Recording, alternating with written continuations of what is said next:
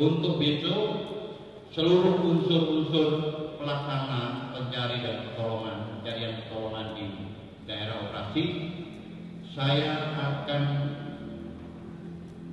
memberangkatkan bantuan kapal tanker dari SKK Migas.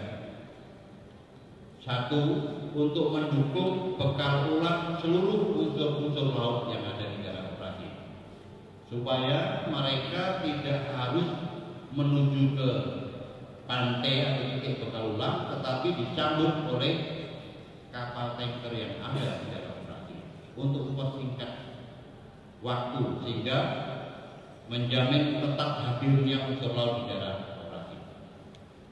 Yang kedua, saya akan memberangkatkan kapal tugas untuk menghadapi situasi yang berkembang di lapangan. Juga bantuan dari SKK Migas. Dari TNI AL, saya instruksikan komandan unsur laut untuk memberangkatkan satu kapal tanker KRI Sorong untuk mendukung uh, logistik di